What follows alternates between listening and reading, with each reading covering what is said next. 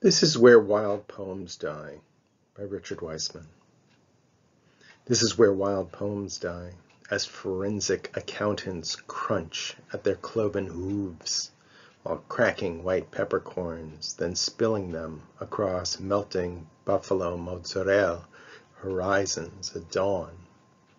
Old memories revive like toothache pain when caressed by raw sugar grains along dusky edges of the shadowy outback, where seasoned flanks are smoked gray above a lonesome mesquite flame.